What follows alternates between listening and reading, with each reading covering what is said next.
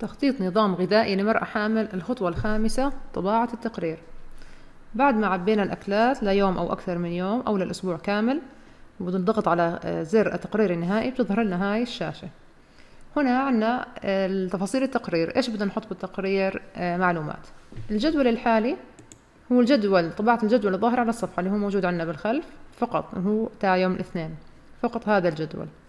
أما إذا بدي كل الأيام اللي عبيتها بكت بضغط على جدول الأسبوع. طباعة جميع جداول الأسبوع المخزنة على يسار الشاشة. الملاحظات إذا عندنا ملاحظات للحالة للحامل للوضع الصحي اللي عندها إذا عندها إمساك عندها من حساسيات نصائح. الوصفات هون يشمل جميع الوصفات الموجودة بجدول جميع الأيام. يعني أي يوم كان في أي وصفة بيحطهم كلياتهم آه ورا بعض. فأنا بدي أطبعهم الثلاثة هدول. تخصيص التقرير إعداد هذا بيكون على أول صفحة بالتقرير. نكتب اسم آه معدة التقرير أخصائية التغذية فلانة أو إذا بدك تتركيها فاضي إذا ما بدك تحطي اسمك. هون إعدادات الألوان لو الجداول العناوين الخلفية أنا ما بدي أغير فيها إشي ممكن تغيروا فيها. أو هي الإعدادات الافتراضية نفسها. نضغط على تجهيز التقرير. بظهر لنا تقرير كامل. زي ما بنلاحظ هاي صفحة الغلاف عنا اللوجو عنا العنوان نظام غذائي للمرأة الحامل اسم أخصائي التغذية اللي عبيناه قبل شوي والبيانات الشخصية للمريضة الاسم العمر إلى آخره. طبعا عندنا هون السعرات الحرارية ال total energy expenditure هذولا وكمية الكربوهيدرات والبروتين. والدهون عبارة عن السعرات اللي حسبناهم بالبداية حسب المعادلات. لكن في حال لأنه إحنا عندنا هون أكثر من يوم عبينا الجدول. في حال عبينا الجدول يوم واحد فقط فراح يحط لنا ال actual يعني الأكلات اللي إحنا اخترناهم هم ال actual قديش فيهم سعرات وكم فيهم كربوهيدرات وبروتين ودهون. ننزل لتحت بنلاقي جدول يوم الأحد فطور سناك غدا عشاء. جدول يوم الاثنين بنفس الطريقة. النصائح والملاحظات. هون الاحتياج اليومي من الماء اللي حكينا عنهم 8 كوب عبارة عن 1920 مللتر في نصائح أخرى نصائح للحامل نصائح للحالة الصحية لأنه عندها إمساك في بعض النصائح لها.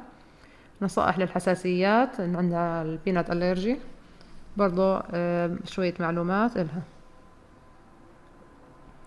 الوصفات أي وصفة موجودة حكينا بالجداول رح تظهر. وصفة البيض المسلوق وصفة مقلوب دفريكي بصدور الدجاج وصفة سلطة الجرجير والشمندر وصفة البليلة اللبنانية. هذول هم كاملين على جميع الأيام. هلا بدنا ننتبه إنه ننبه على الزباين إنه يلتزموا بهاي الوصفات حرفيا لأنه القيمة الغذائية والمعلومات الغذائية محسوبة على هاي الوصفات بالضبط.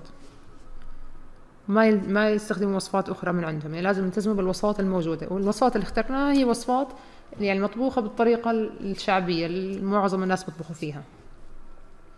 هلا خلينا نحكي عن آه، كمية الحصة. فمثلا في وصفة مقلوب تفريكي بصدور الدجاج. قلنا حصة حصة هاي المريضة بأول يوم وثاني يوم كانت ثلاث أرباع حصة. ثلاث أرباع حصة فرد. هيك راح يظهر على التقرير. وبين قوسين تقريبا ثمن الوصفة. خلص أنت بتعطيها الوصفة؟ هاي المقلوبة. هاي الوصفة كاملة. بتحكي لها يعني تقسميها على ثمانية وخذي خذي قسم منهم. أو مثلا في معلومة تانية أنت كأخصائية تغذية ممكن تفهميها. هلأ بآخر خطوة مكتوب يقدم دجاج مع الفريكة وفي ملاحظة هذه الوصفة تكفي سبع أشخاص. لكل شخص سبع كمية الأرز وقطعة من صدر الدجاج. هاي آه، لأنه إحنا أصلا الوصفة هاي مكتوبة لسبع أشخاص بالبداية. يعني تكفي سبع أشخاص. فهي لو قسمتهم على سبعة إلها ثلاث أرباع الحصة السبعة هاي. فتاخد السبع بتاخد ثلاث أرباع. وقطعة من صدر الدجاج بتاخد ثلاث أرباع الصدر. فبس ضروري كأخصائية تغذية تفهمي المريض هاي الشغلة. نطلع لفوق. مرة ثانية. هيك تقرير جاهز. هلأ إذا أنا بدي أطبع التقرير وأسلمه للمريضة عندي هون بكبس print إذا بدي أبعث لها إياه واتساب مثلا بدل ما أعمل print بعمل save as PDF وبسيبها عندي وببعث لها إياها على الواتساب. هيك التقرير عندنا جاهز. خليني بس بدي أطلع منه أعمل إكس وأرجع لهاي الشاشة ونشرح ملف النصائح. آخر زر.